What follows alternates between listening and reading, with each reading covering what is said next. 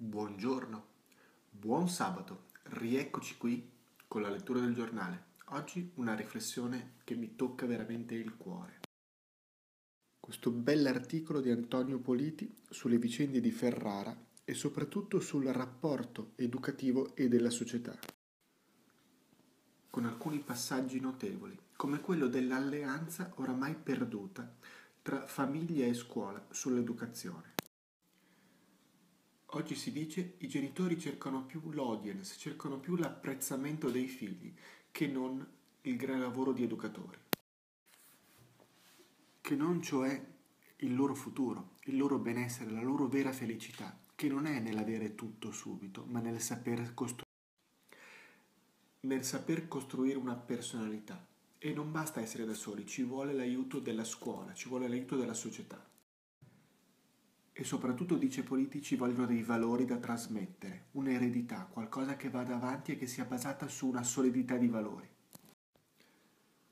E questo dice Politi è quello che viene meno e che è l'elemento fondante che manca e che non può dare solidità. Perché siamo così travolti dai nostri diritti, dalla pretesa dei diritti, che ci dimentichiamo dei valori che fanno la vita. Cosa ne pensate?